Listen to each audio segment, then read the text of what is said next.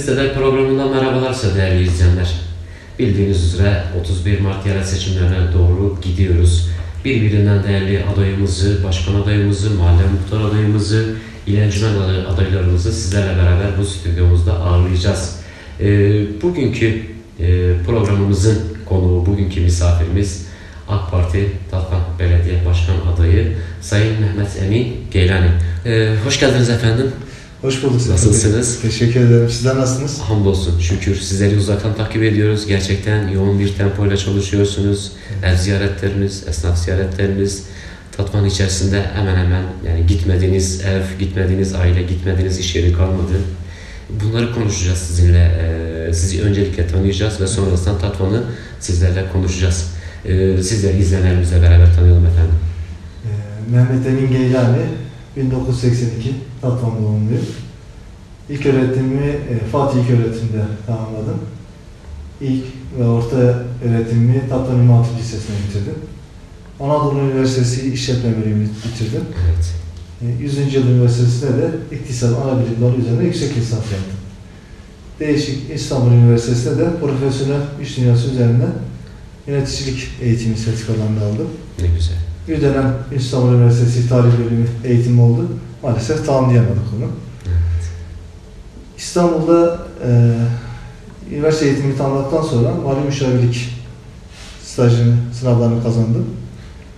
E, iki yıl İstanbul'da mali müşavirlik stratejisini tamamladıktan sonra 2009 yılında serbest muhasebeci mali müşavirlik ünvanı almaya kazandım. 2010 yılında da kendime ait olan serbest muhasebeci mali müşavirlik bürosunu açtım ve o günden bu yana da Tatvan'da serbest muhasebeci mali müşavir olarak hizmet vermekteyim. Ne güzel. Ee, AK Parti ailesine, e, AK Parti'ye uzak bir şahsiyet değilsiniz. Daha öncesinden de e, bir müracaatınız olmuştu, adaylık müracaatınız olmuştu. O dönemde nasip olmadı, bu dönem nasip oldu. Evet. Ee, e, halkın içerisine girip geziyorsunuz, e, halkın size bakış açısı ne, e, neler görüyorsunuz, nelerle karşılaşıyorsunuz. Biraz e, bunlardan e, bilgi alalım sizden. Siyasete merakımız çoktan vardı. Yani gençlik zamanından beri vardı. Evet. Biz Tatvan'da gençlik kollarından beri AK Parti'de görev alıyoruz. 2012'de e, İl Yönetim Kurulu'nda seçildim. Evet. E, aynı yıl e, ekonomiden sorumlu il başkan yardımcılığı, akabinde de iki dönemde mali ve idari işlerden sorumlu il başkan yardımcılığı görevleri yaptım. Toplamda üç dönem il başkan yardımcılığı görevimiz oldu. Siyasetin içinde e, üç dönemlik bir sürecin ve gençlik kollarından gelme olan bir süreç oldu ama uzun bir tecrübemiz oldu. Siz de bilirsiniz ki bu son süreçte yoğun bir seçim süreci geçirdik. Hem referandumlar olsun, hem genel seçimler olsun, hem yerel seçimler olsun. 2014 döneminde de e, belediye başkanlığı için bir aday adaylığı sürecimizi geçirdik. O dönemler nasip olmadı. O dönem tekrardan talip olduk, nasip oldu. Biz siyasetin gençliğinden beri geldiğimiz için teşkilatın her kademesine görev aldık. Tatvan'la ilgili iki dönemde ilçe koordinatörü görevi yürüttüm. Vatandaşların isteklerini, taleplerini, yaşanan sıkıntıları birebir yaşıyoruz, biliyoruz. Biz sadece siyasette hizmet vermedik. Aynı zamanda sporla ilgili kurulan derneklerde yönetim kurulu görevlerimiz oldu. Van Gölü ile ilgili kurulan kurulu ilgili. görevlerimiz oldu. Kültür, turizm, tanıtımla ilgili olan derneklerde sürekli faaliyetlerimiz oldu. Ben 2013 yılında e, Bitti Tatvan'da e, bir grup arkadaşlarımızla, esnaf ve iş adamları arkadaşlarımızla MÜSİAD'ın 46. şubesini açtık. Hmm. Yani Türkiye'de çoğu büyük şehirde olmayan müsiyatı biliyorsunuz müstahak Evet. sanayici iş adamları. Türkiye'nin en büyük sivil toplum kuruluşlarından biri. Biz 2013'te kurucu başkanlığını ve 5 yıl boyunca da yönetim kurulu başkanlığını müsiyatını yaptım. Biz bir yandan da aynı zamanda ekonomikle ilgili de sürekli memlekete neler yapabiliriz, neler edebiliriz bunlar üzerinde çalışmalarımız oldu. Yani efendim şöyle diyebilir miyiz? Mehmet Emin Geylani uzun yıllardır vatandaşına, halkına, Tatvanlı'ya, Bitlis'e, memleketine hizmet eden bir şahsiyet. Her ne kadar perde arkasında ise dahi yine hizmetlerinden e, eksik kalmamış bir şahsiyet. Bugün de perdenin ön yüzünü yaşıyoruz, görüyoruz. Evet. Yani dediğiniz gibi şimdiye kadar hep perdenin arkasındaydık. Evet. Şimdi sahneye çıktık. e, Halkımızla buluşuyoruz. istediklerimizi, düşüncelerimizi, eksik gördüğümüz şeyleri Evet. anlatmaya çalışıyoruz. Bunun üzerinde çalışmalarımız var. Gittiğimiz her yerden de kendimize bahsetmek istiyoruz. Görmek istediğimiz bir tatmanı projelendirdik nevi. Ne güzel. Her gittiğimiz yerde de bunları anlatmaya çalışıyoruz elimizden geldiği kadar. Yani bir tatvanlısınız. E, tatvanın ilaki birçok e, güzel yerlerde, birçok önemli yerlerde görev almışsınız. Tatvanın bütün sorunlarına, bütün e, sıkıntılarına hakim olduğunuzu ben e, görüyorum. Onun için yani halkımız e, gönül rahatlığıyla sizi dinleyebilir. E, yani ben e, onu görüyorum efendim. Yani birebir yaşayan biriyiz. Evet. Yani bahsettiğimiz gibi çocukluğumuzdan beri buradayız. Yazını, kışını, baharını, sonbaharını bilen biriyiz. Yani sadece belli güzel tarafını değil, zahmetli tarafını da yaşayan. Onlar için belli olsa daha güzel olur. Sürekli aklımızda geçen. Bu her vatandaşımızın aklından geçiyor zaten. Yolda giderken, bir parkta görürken ya keşke bunu şöyle yapsaydılar, Yani, böyle olsaydı tarzında. Bizler de aynı onlardan biriz. Yani bu memleketin bir unsuruyuz, bir vatandaşıyız, bir hemşerisiyiz, bir kardeşiyiz. Aynı şeyleri kendimize proje olarak, şimdi yıllardır eksikliğini gördüğümüz, Evet, evet. Topladınız, biriktirdiniz. topladık, biriktirdik, biriktirdik.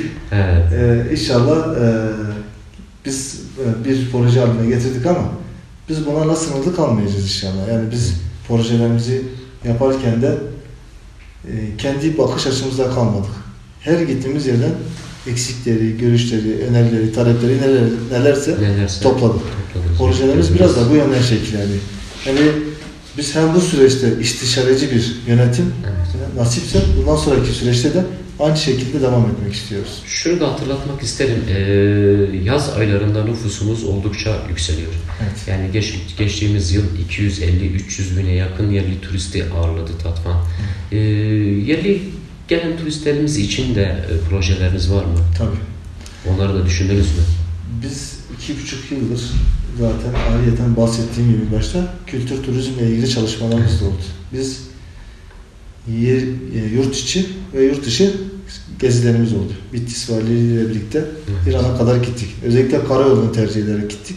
Geze göre, göre göre Orta Doğu bölgesiyle ilgili çalışmalarımız oldu. Bir nevi biraz da ticari olarak oldu ama bir yanda da tanıtımla en son yaptığımız turizm ve tanıtımla ilgili biz Bitlis'in kalkınması ve turizm altyapısını nasıl güçlendiririz diye çalışmalarımız oldu. Evet. Yani bununla ilgili büyük bir projelerimizin içinde, vazgeçilmezlerimizin içinde aynı zamanda sizin bahsettiğiniz gibi 200-250 bin olan potansiyel dönen turizm sayısını daha kaliteli bir şekilde getirmek ve gerekli e, altyapı ve hizmeti kendilerine sunmak istiyoruz. Şu an Tatvan'ın farkı diğer illerden biri Van Gölü Havzası. E, Van Gölü Havzası'nı eğer biz isteyince kullanamıyorsak Tatvan'ı kullanamıyoruz demektir. Aynen. Yaşayamıyoruz demektir. Biz buradan faydalanmamız lazım. Bu da en maksimum faydada nasıl faydalanacaksa o şekilde değerlendireceğiz. Yeri geldiği zaman ticari olarak, yeri geldiği zaman turizm olarak, yeri geldiği zaman spor olarak Van Gölü'nün bütün nimetlerinden faydalanacağız Allah'ın izniyle. Evet, aynen. Çok güzel.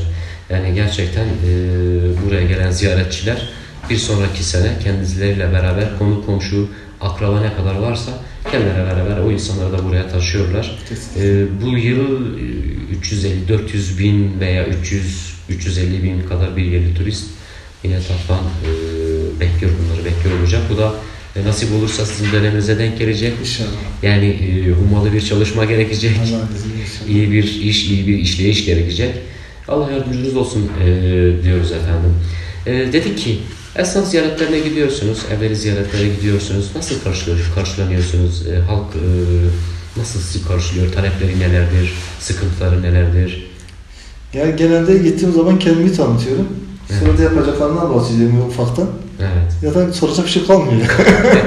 Çünkü e, sıkıntıları birebir bildiğimiz için az önce bahsettiğimiz gibi e, onların istediklerini birebir onlara söyleyince yapacaklarım arasında saydığım zaman yap, başka bir şey istemiyoruz. Zaten sen gerekeni söyledin bizlere. Edindiğimiz şu bilgilere dayanarak şunu söylüyorum. Kişileri birebir dinlediğiniz, birebir onlarla ilgilendiğinizi duyuyoruz. Doğru mu? Doğrudur.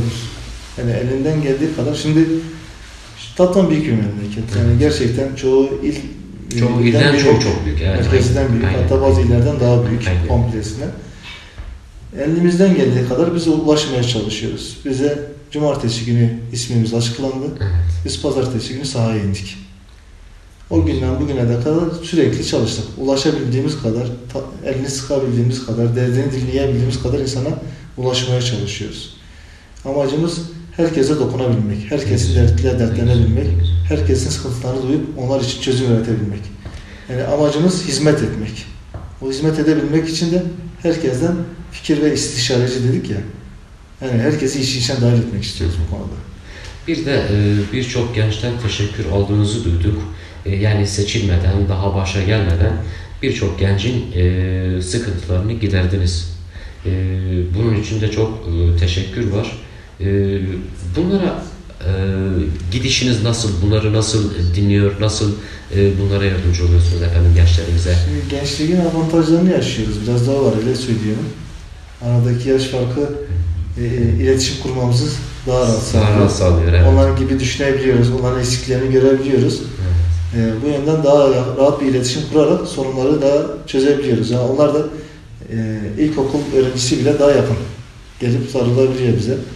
Yani Ortaokul, lise, üniversite gençlerine bile daha yakın il- ilişki kurabilmemiz büyük bir avantajımız. Bu da biraz genç oluşumuzdan geliyor. abi söyleyeyim. kardeş ilişkisini Abi kardeş yaşıyorsunuz. ilişkisi gibi. Aynen. Bu avantajı da kullanmaya çalışıyoruz. Ne güzel. Evet. Ee, karşılığını da alıyoruz. Onlar gibi düşünebiliyoruz. Onların sıkıntılarını görebiliyoruz inşallah. Ee, projelerimizin içinde de onlarla yönelik güzel projelerimiz var. Çünkü kendi yaşadığımız eksikleri unutmadık daha. O eksikler hala devam ediyor. Yani çocukken yaşadığımız park kayıtları da unutmadık. Eksikliğini. Gerçekten eksik gördüğümüz işte e, eğitim alanını da unutmadık. İstediğimiz almamız, istediğimiz, almak istediğimiz eğitimleri de unutmadık. Bunlar şu anda eksik olarak belki belki biraz eskisine göre biraz daha karşılana, karşılanabiliyor ama e, daha tam istediğimiz seviyede değil. Yani kendi eksiklerimi başkalarının yaşamasını istemiyoruz. Nasıl küçük bir çocuğumuz olur ya, Evet. Ne kadar yaşamadığımız şeyi onlara Aynen. vermek istiyoruz. Aynen, aynen. Şu an bizim bakış açımız da o bu şekilde. Yani eksikliğini yaşadığımız her şeyi başkalarının yaşamamasını istiyoruz. Ne güzel ya. Bir Çalışmalarımız, projelerimiz de onlar üzerine kurulu. Yani tebrik ediyorum sizi böyle bir düşünceyle hareket etmeniz. Gerçekten çok önemli ve çok etkileyici bir e, düşünce. E, zamanında yaşayamamışsınız ama e, yaşadı, yaşayamadıklarınızı yaşatmak Yaşatmak istiyorsunuz. Gerçekten güzel. Keşke dünyada bütün herkes bunu yapmak istese, imkanları olanlar da yapsa. e, harika, güzel bir şey. Teşekkür ediyoruz. E, bir programımızın ve ilk programımızın sonuna geldik. Sizlere daha çok program yapacağız efendim. Bu yapacağımız programın ilkiydi. Bizi kırmayıp geldiğiniz için size teşekkür ediyoruz. Programımızın sonuna da doğru gidiyoruz. Tatvan halkına, izleyicilerimize, bizlere son olarak Mehmet Emin Geylani neler söylemek ister? Biz Tatvanlı hemşerilerimize daha iyi yaşanılabilir, daha güzel, daha sağlıklı, daha temiz, huzurlu ve güven içinde yaşayabileceğimiz bir Tatvan istiyoruz. Çalışmalarımız ve projelerimizi bunlar üzerine yoğunlaştırdık. Bu süreçte bütün hemşerilerimizden bizlere destek vermesini istiyoruz. Sağlıkla, sağlıcakla kalın. Allah yar ve yardımcımız olsun. Evet değerli izleyenler, bir Bitlis'te programın son, programının sonuna geldik. Bu haftaki konuğumuz AK Parti e, Tatvan Belediye Başkanı adayı Mehmet Emin Geylani'li. Kendisine bizleri kırmadığı ve konuk olduğu için teşekkür ediyoruz. Sizlere de ayrıca teşekkür ediyoruz. Bizlere zaman ayırdığınız için, bizleri izleyip dinlediğiniz için. Biz gerçekten yaşanılır, huzurlu bir Tatvan istiyoruz. Biz bu memlekette, bu Tatvan'da bir aileyiz. Lütfen birbirimize, kendimize, memleketimize sahip çıkalım. Bir sonraki programda görüşünceye dek kendinize çok iyi bakın. Allah'a emanet olun.